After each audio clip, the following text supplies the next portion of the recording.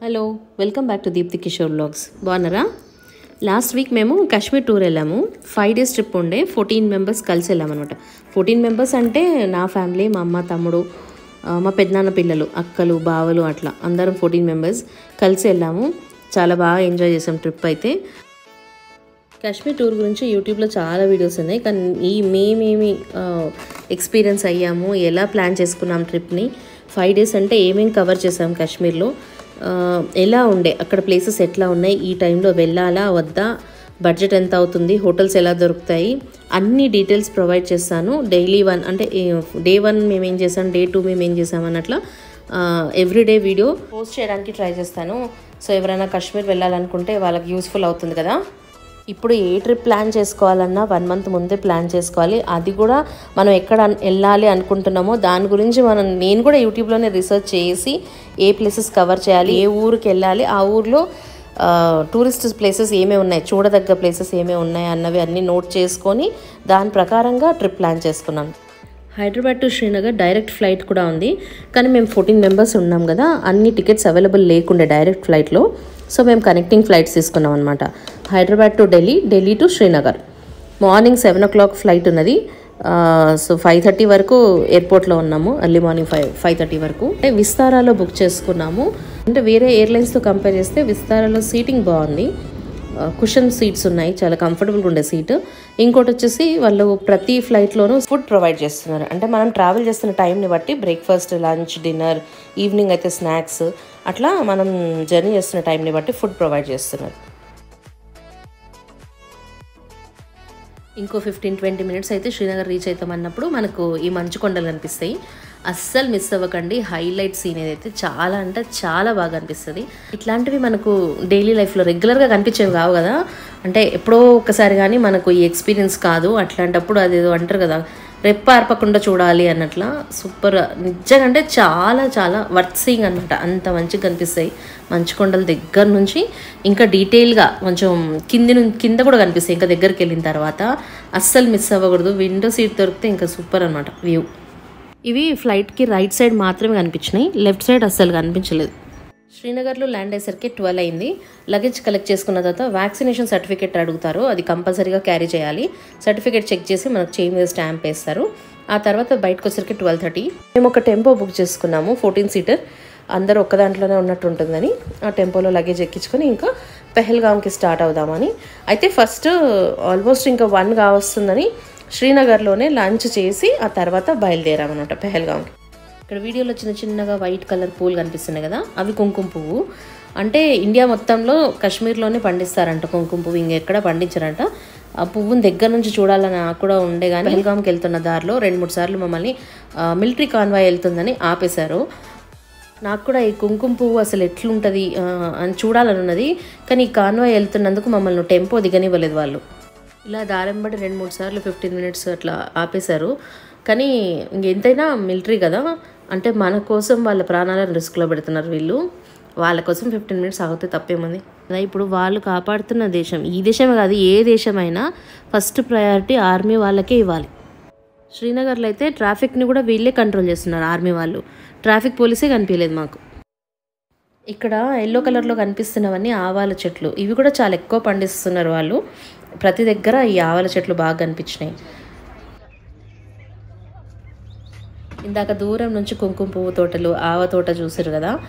ఇప్పుడు ఇది యాపిల్ చెట్లు. నిన్ చెట్టు నిండా ఒక్క చిన్న ప్లేస్ కూడా వదలకుండా పూలు ఉన్నాయి. అబ్బా బాబా సూపర్ ఉంది ఇదైతే వ్యూ.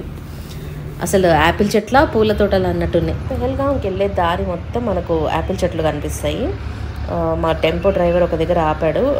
యాపిల్ జ్యూస్ తాగి మేము ఆ చెట్లు అంతా గార్డెన్లో అంతా తిరిగి వచ్చామన్నమాట అనమాట లోపలంతా. యాపిల్ చెట్లు ఎంత బాగున్నాయి అంటే దానికి వచ్చిన ఫ్లవర్స్ ఏదో ఫ్లవర్ గార్డెన్లో ఉన్నాం అన్నట్ల చాలా నిండుగా ప్రతి చెట్టుకి ఎంత నిండుగా ఉన్నాయంటే పూలు అంత నిండుగా ఉన్నాయి. ఇక్కడ మనం apple juice fresh apple juice చేసిస్తారు. ఇంకోటి వచ్చేసి యాపిల్ పీకల్ జామ్ అవన్నీ కూడా అమ్ముతుంటారు. కావాలనుకుంటే కొనుక్కోవచ్చు. జ్యూస్ వచ్చేసి ఫిఫ్టీ రూపీస్ ఒక గ్లాస్ చట్నీ యాపిల్ జామ్ ఇవన్నీ వన్ ఫిఫ్టీ రూపీస్ బాటిల్ ఉంది. ఫ్రెష్ జ్యూస్ ఏమీ కలపకుండా అప్పుడప్పుడు చేసిస్తారు కాబట్టి చాలా టేస్టీగా ఉంది. తప్పకుండా ట్రై చేయండి ఇక్కడికి వెళ్తే.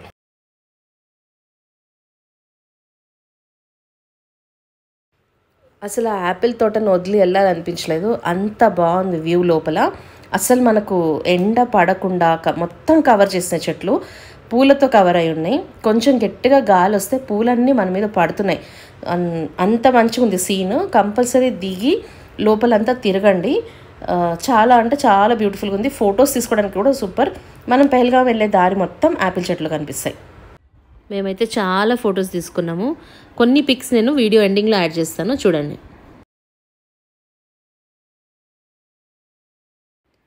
ఇందాక విస్తార గురించి చెప్పాను కదా ఒక్క నెగిటివ్ పాయింట్ ఏమనిపించిందంటే అంటే ఇది నేను ఎక్స్ నాకు ఎక్స్పీరియన్స్ అయ్యింది కాబట్టి నాకు నెగిటివ్ పాయింట్ అనిపిస్తుంది. అది అందరికీ అవ్వాలని ఏం లేదు. మేము వెళ్ళడానికి ఒక ట్వంటీ ఫైవ్ డేస్ ముందు టికెట్స్ బుక్ చేసుకున్నాము. టికెట్ బుక్ చేసుకున్న వన్ వీక్ తర్వాత ఒక ఫ్లైట్ క్యాన్సిల్ చేశారు. దానికోసం మేము మళ్ళీ ఇంకొక ఎయిర్లైన్స్ మళ్ళీ వెతికి ఆ టైమింగ్స్ సెట్ అయ్యేలాగా తీసుకోవాల్సి వచ్చింది. అక్కడ కొంచెం ఇబ్బంది అయింది. రెండోది వచ్చేసి రెండు ఫ్లైట్లను డిలే చేశారు. అంటే ఫ్రీక్వెంట్గా మీ ఫ్లైట్ మారింది మారింది మారింది అని మెసేజెస్ వస్తుంటే కొంచెం టెన్షన్ అవుతుంది కదా. అంటే నేను అన్ని కనెక్టింగ్ ఫ్లైట్స్ తీసుకున్నాను. ప్లస్ ఒకటి రెండు సీట్లు కాదు పద్నాలుగు మందికి ఒకటే ఫ్లైట్లో సీట్ కావాలంటే ఇంకొక ఎయిర్లైన్స్కి వెళ్ళాలన్నా ఆ టైంలో అందరికీ ఒక దాంట్లోనే దొరుకుతుందన్న నమ్మకం ఉండదు కదా. అది కొంచెం టెన్షన్ అయింది. పెహల్గాం వెళ్ళే దారి మొత్తం చూడడానికి చాలా బాగుంటుంది. అంటే వ్యూ చాలా బాగుంటుంది. మనకి వాటర్ సౌండ్ కానీ ప్లెజెంట్ అట్మాస్ఫియర్ ఎటు చూసినా కూడా పచ్చని చెట్లు ఇంకా ఒక డిఫరెంట్ పూలు. సమ్మర్లో కాశ్మీర్ వెళ్తే మనము డిఫరెంట్ వెరైటీస్ ఆఫ్ ఫ్లవర్స్ చూడొచ్చు. అదొక ప్లస్ పాయింట్ సమ్మర్లో వెళ్తే. నార్త్ సైడ్ ఏ హిల్ స్టేషన్ వెళ్ళినా వ్యూ ఇలానే ఉంటుంది. అంటే మనం వెళ్తున్న దారి మొత్తం మనకి ఇట్లా ఒక రివర్ పక్కనే ఫ్లో అవుతూనే ఉంటుంది కంటిన్యూస్గా మనాలిలో కూడా ఇట్లానే ఉంటుంది. గంగోత్రి యమునోత్రి వెళ్ళే దారి కూడా చాలా బాగుంటుంది. ఇంకా దీనికన్నా ఇంకా బాగుంటుంది అది. అంటే అవి ఇంకా కొంచెం హైట్ మీద ఉంటాయి. రివర్ కూడా కొంచెం బ్రాడ్గా ఉండి సైలెంట్గా వెళ్తుంటుంది. చాలా క్లియర్గా ఉంటుంది వాటర్. మనము నడవచ్చు ఆ వాటర్లో అంత భయం అనిపించదు. ఇది కొంచెం ఫ్లో ఎక్కువ ఉంది కానీ అక్కడ నీళ్ళలో దిగి కొంచెం నడిచాం కూడా. ఫొటోస్ కూడా చాలా తీసుకున్నాం అప్పుడు. అందులో డిఫరెంట్ వెరైటీస్ ఆఫ్ స్టోన్స్ దొరికినాయి మాకు. అవి కలెక్ట్ చేసి తెచ్చుకున్నాము. అవి ఇంకా మా ఇంట్లో ఉన్నాయి. ఈ రివర్ వచ్చి లీడర్ రివర్ ఇది. అంటే ఇంకా పైనుంచి స్టార్ట్ అవుతుంది. పెహల్గాంకి వెళ్ళే దారి మొత్తం మనకి ఈ రివర్ ఫ్లో అవుతుంది. మా టెంపో డ్రైవర్ ఇక్కడ జరిగిన షూటింగ్స్ గురించి చెప్తున్నారు. షారుఖ్ ఖాన్ సినిమా ఏదో మూవీ షూటింగ్ అయిందని. పెహల్గాం రీచ్ అయ్యేసరికి ఈవినింగ్ ఫైవ్ అయింది. హోటల్లో చెక్ ఇన్ చేసి ఫ్రెష్ అయ్యి ఈవినింగ్ uh, కొంచెం షాపింగ్ అలా వెళ్ళామన్నమాట బయటికి. చాలా చల్లగా ఉంది పెహల్గాం. మొత్తం కాశ్మీర్ ట్రిప్లో ఈ ప్లేస్ మాత్రం చాలా చల్లగా ఉంది నైన్ డిగ్రీస్ ఉన్నది రాత్రి. హోటల్ కూడా బాగానే ఉంది. మీడియం సైజ్ రూమ్స్ ఉన్నాయి. కంఫర్టబుల్గా ఉంది. సైడ్కి మనకు ఇట్లా గార్డెన్ లాగా ఇచ్చారు కూర్చోడానికి కానీ ఈవినింగ్ అస్సలు కూర్చోలేకపోయాము. మార్నింగ్ కూడా కొంచెం సన్లైట్ పడేంత వరకు మేము బయట తిరగలేకపోయాము. పెహల్గాంలో మేము స్టే చేసిన హోటల్ వచ్చేసి Lal Koti. Pahalgam main tourist place. అందులో మేము వెళ్ళింది మంచి సీజన్ టైం కాబట్టి మాకు కొద్దిగా కాస్ట్లీ పడ్డది. Per day four thousand including breakfast and dinner.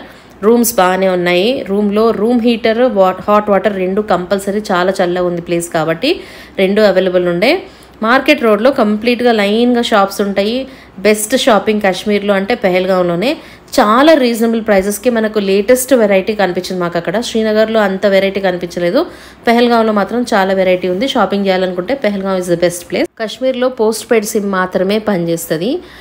Room tour చేయడం మర్చిపోయినా. ఇంకొకటి షాపింగ్ అనగానే ఇంకా అసలు ఏం గుర్తుండదు కదా. ఫోన్ తీసుకెళ్ళడం మర్చిపోయినా. సో షాపింగ్ వీడియోస్ కానీ ఫొటోస్ కానీ ఏమీ లేవు. అంత చలిలో కూడా నైట్ ఎయిట్ ఓ క్లాక్ వరకు షాపింగ్ చేసి ఎయిట్ థర్టీకి డిన్నర్ చేసి రెస్ట్ తీసుకున్నాము.